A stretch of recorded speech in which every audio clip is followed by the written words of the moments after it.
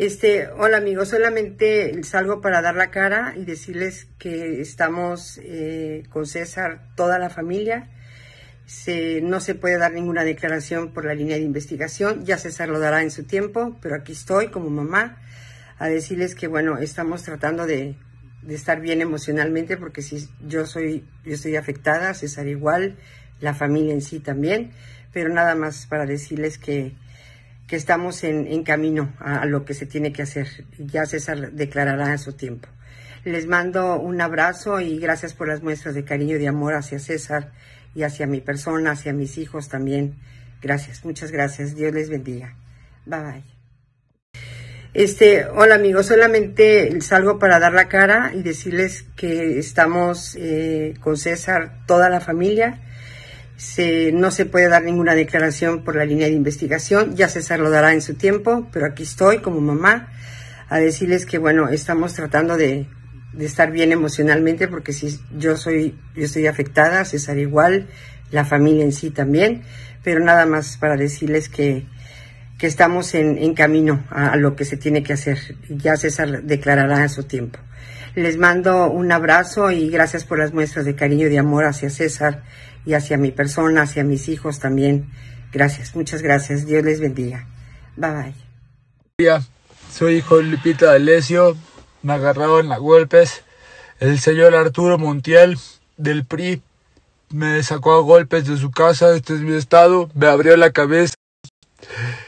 Este pido justicia, señor. Ya es una transmisión en vivo, yo no sé si esto eh, funciona o no funciona, la verdad yo no hago, hago este tipo de llamadas de atención, este, vengo saliendo un evento, temo por mi vida, pensé que me iba a morir.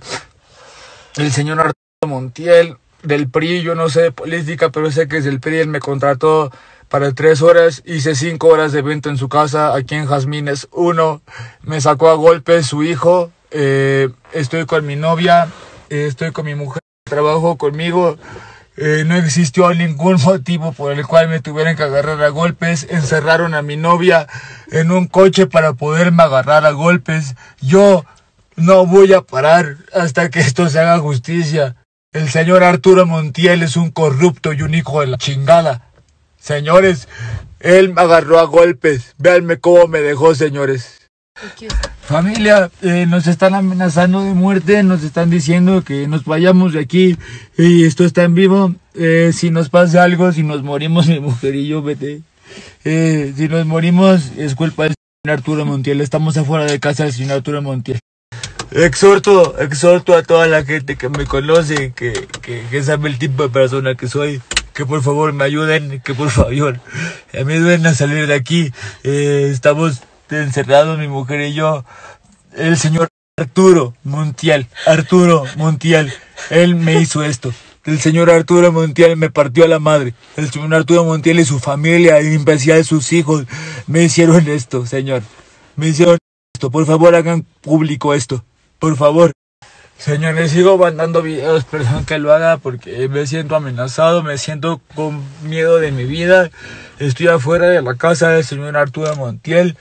Este, me, me han estado amenazando con que me vaya. Me voy a ir, señores. Aquí me voy a quedar. Estoy temiendo por mi vida. El señor Arturo Montiel aquí vive eh, en Jazmines número uno. Este, este es mi estado físico, señores. Este es mi estado físico. Les pido por favor que, que la gente que me conoce sabe que yo vengo a trabajar y quiero, voy a, levantar una denuncia. Ahorita estoy esperando a que llegue mi suegra, estoy esperando a que llegue mi familia que me quiere.